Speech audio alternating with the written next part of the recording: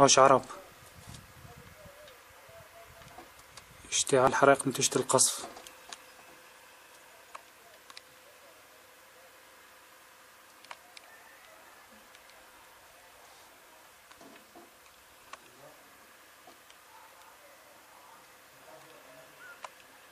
الله أكبر.